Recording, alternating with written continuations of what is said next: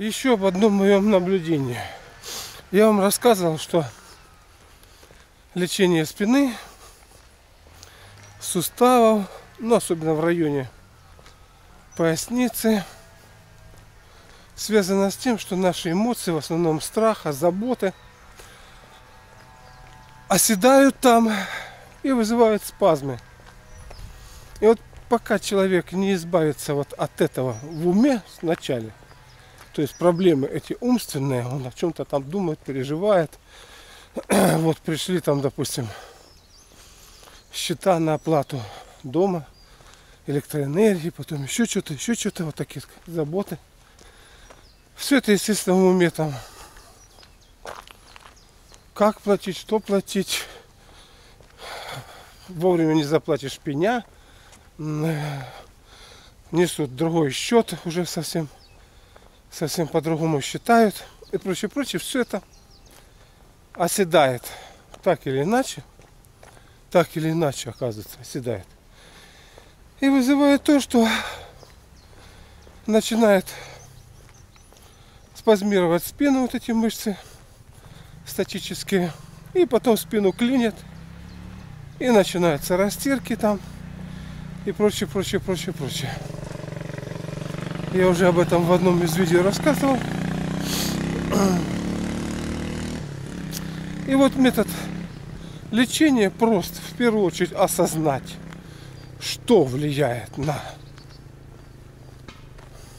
спину. Потому что это такой орган, который приспособлен для того, чтобы ходить вот так. Служить долго вера и правда. А тут он разрушается в цивилизованном обществе необычайно быстро. Проблемы со спиной и прочими суставами принимают проблемы эпидемии. Так вот, я это вот все осознал, прикинул, так сказал себе, хватит там что-то там болеть, что-то там еще, что-то там делать. Вот. Подстраховался, носил пояс я вначале. Пояс штаниста так. Вот, потом как-то вот сейчас я вот иду, забыл о всех этих поясах. Спина такая, как столбик. То есть это сработало и работает. Значит, проблему уясняем, страхи, заботы – все это мысленно удаляем. Говорим, что там нечему болеть.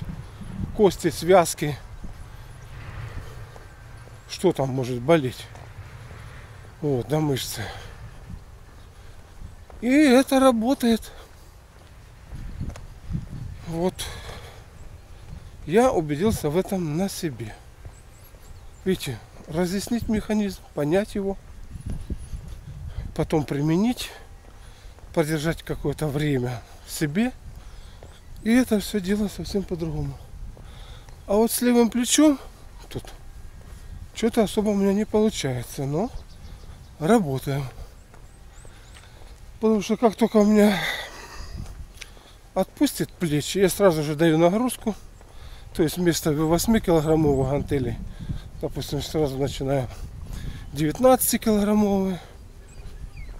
И хотя их поднимаю легко, но уже нагрузка на эти все связки, мышцы больше, они начинают там травмироваться и начинают опять боли повторяться.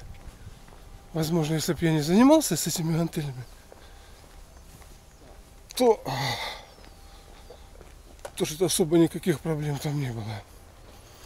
Но хочется и выглядеть мужественно.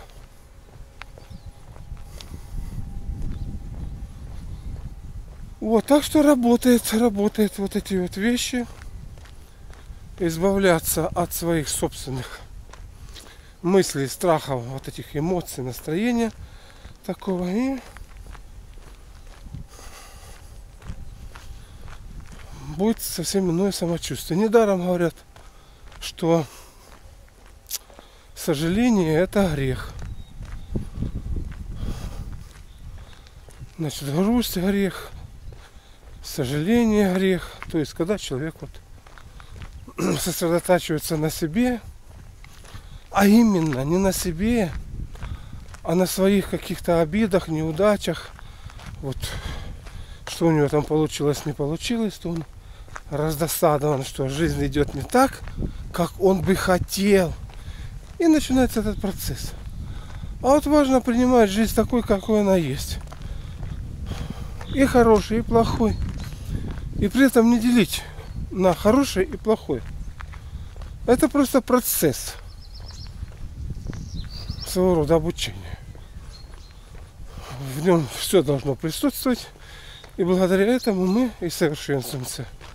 А если мы это отвергаем, возникает завихрение энергетическое в наших тонких телах, которое по принципу подобия, это я так считаю, начинает концентрироваться там, где, так сказать, аналогичные там энергии. Это в районе, значит, нашего крестца поясницы. Далее там суставов. И проблема пошла. И мы ее пытаемся унять. Следствие, вернее, пытаемся убрать уже мышцу. А то, что оказывается там стоит далеко за мышцы, совсем в иных, как бы сказать, пространствах нашего организма, мы об этом даже и не подозреваем. Вот видите, что может быть.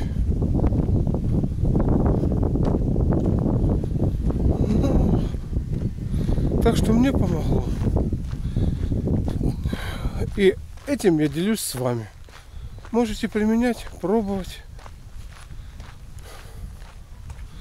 и наслаждаться жизнью без растирок, без всяких ЛФК, костоправства и прочего, прочего, прочего. Вот что самое удивительное.